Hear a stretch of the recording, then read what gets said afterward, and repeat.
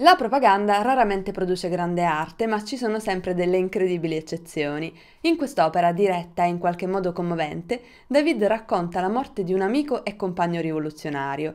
La vittima, Jean-Paul Marat, è un membro di spicco della Convenzione nazionale, l'organo di governo in Francia, tra il 1792 e il 95, durante il Regno del Terrore, i giorni più violenti della Rivoluzione francese. Le opinioni politiche di Marat gli procurano molti nemici, soprattutto dopo la caduta di una delle fazioni francesi più moderate, quella dei Girondini. E il 13 luglio 1793 una giovane donna, Charlotte Corday, ottiene udienza con lui nel suo bagno. So che può suonare insolito, ma in realtà non lo è. Marat soffre infatti di una malattia della pelle che lo costringe a fare bagni frequenti, quindi utilizza questo luogo come suo ufficio. Durante l'incontro la donna tira fuori un coltello e pugnala Marat a morte. Ma non la scampa. Il 17 luglio, quindi solo quattro giorni dopo l'assassinio, viene mandata alla ghigliottina.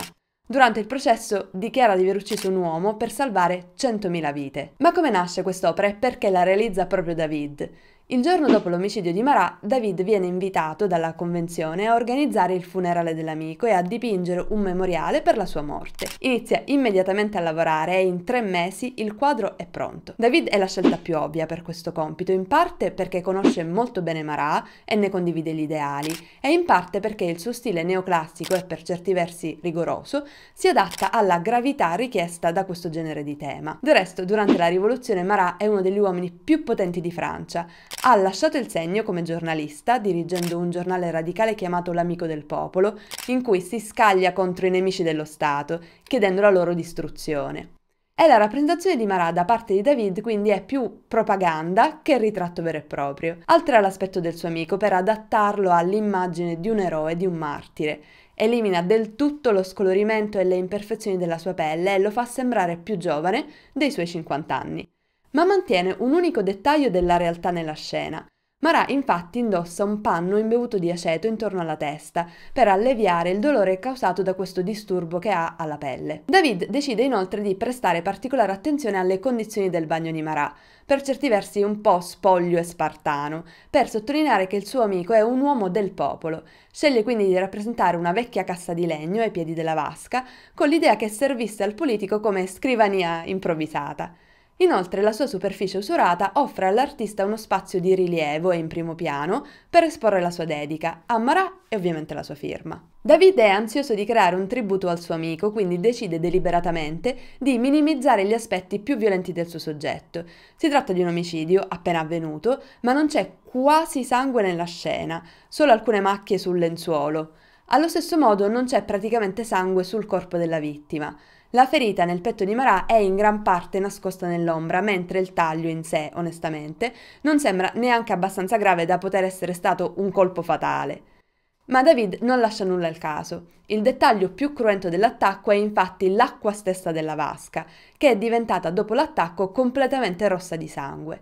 Anche qui però David minimizza l'effetto adottando un punto di vista molto basso in modo che sia visibile solo una striscia di sangue e se si guarda con molta attenzione. Diamo un'occhiata all'arma del delitto. Il coltello con cui la donna ha colpito Marat è sul pavimento, come se l'assassino lo avesse lasciato cadere e poi fosse fuggito. Nella realtà non è andata così. La donna infatti si racconta che non abbia neanche tentato di fuggire, ma che abbia aspettato di essere arrestata. Secondo alcuni resoconti addirittura il coltello, al momento della scoperta dell'omicidio, è ancora nel petto di Marat, ma David esclude qualsiasi caratteristica che possa non dare il senso di questo martirio eroico del suo amico. Il dipinto di David quindi mostra un misto di verità e costruzione. L'artista conosce bene i dettagli del bagno di Marat e la sua malattia della pelle, rimuove però del tutto i segni della malattia aveva lasciato sul volto della vittima, pur rappresentando altri elementi con grande precisione. È perfettamente vero, ad esempio, che Marat ha l'abitudine di stendere un lenzuolo sulla base della vasca da bagno in modo che le sue piaghe non sfreghino contro il rivestimento di rame della vasca stessa.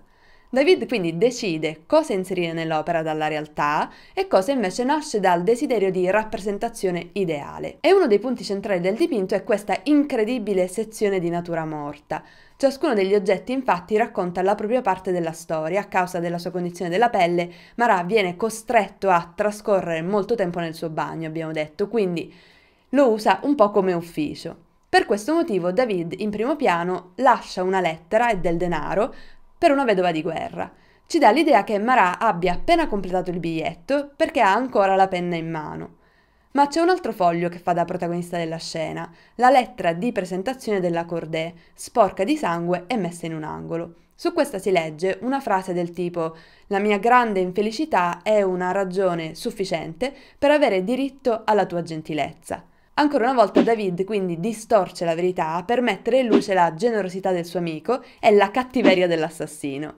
Infatti alla donna è stata concessa l'udienza perché affermava di avere delle informazioni interessanti per Marat sui ribelli. Dal punto di vista della composizione, David decide di ridurre la scena all'essenziale e di collocarla non solo in un luogo, ma in un momento temporale specifico.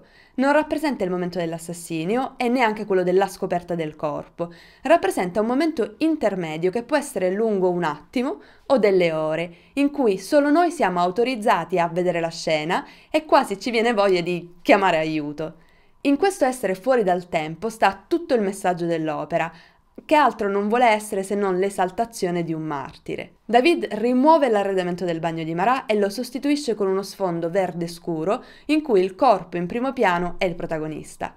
Si racconta che l'ispirazione per questa ambientazione sia nata nella chiesa in cui il corpo dell'amico viene inizialmente seppellito.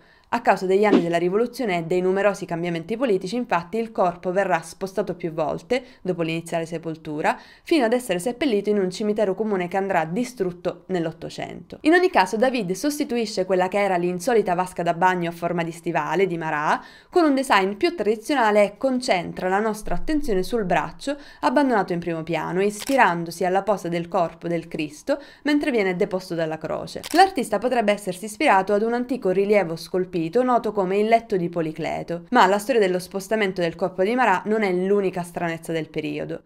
Dopo la rivoluzione il dipinto si rivela motivo di imbarazzo per il nuovo regime e nel 1795 viene letteralmente restituito a David. Non viene più esposto in Francia fino al 1846, 21 anni dopo la morte di David, quando il poeta e critico d'arte Baudelaire ne riscopre la storia. Da un punto di vista della tecnica, l'opera è in linea con molti altri capolavori di David. In comune con quella della maggior parte degli artisti neoclassici, le figure di David mostrano infatti una finitura liscia e lucida e un aspetto scultoreo che ricorda le statue dell'antichità. Non è un caso quindi che una delle possibili fonti di Marat sia un rilievo classico. A David piace anche utilizzare effetti di luce teatrali per evidenziare gli elementi più significativi nelle sue immagini. Quindi, mentre la testa, le braccia e la cassa di Marat sono illuminate, i dettagli più cruenti sono lasciati nell'ombra. Ma per capire al meglio l'opera facciamo un passo indietro e scopriamo qualcosa di più sull'artista David. Viene considerato il principale pittore neoclassico in Europa e trae ispirazione principalmente dai tempi turbolenti in cui vive, producendo così i suoi più grandi capolavori in piena rivoluzione francese. Nasce a Parigi dove si forma con il pittore Joseph-Marie Vienne. Nel 1774 vince il premio di Roma che gli permette di finanziare i suoi studi in Italia. David trascorre nel nostro paese cinque anni assorbendo l'arte classica e non solo. Al suo ritorno a Parigi sviluppa una nuova e potente visione dell'antico. Attinge ai temi della storia greca e romana e dipinge una serie di tele che esaltano le virtù morali, il coraggio e il sacrificio di sé. Ovviamente questi temi riflettono il crescente clima di ribellione in Francia nei giorni precedenti alla rivoluzione. Quando inizia la rivolta nel 1789, David si impegna pienamente nella causa. Aderisce alla Convenzione nazionale di cui fa parte Marat, organizza spettacoli rivoluzionari e vota per l'esecuzione di Luigi XVI. E tutte queste attività gli costano quasi la vita, ma riesce a sopravvivere, costretto solo ad un breve periodo di prigionia. Nel tempo e con lo stesso grado di entusiasmo, David sostiene anche il governo di Napoleone. Abbraccia la sua causa, così tanto da diventare il primo pittore nel 1804 e continua a produrre una serie di opere splendide che glorificano il nuovo regime.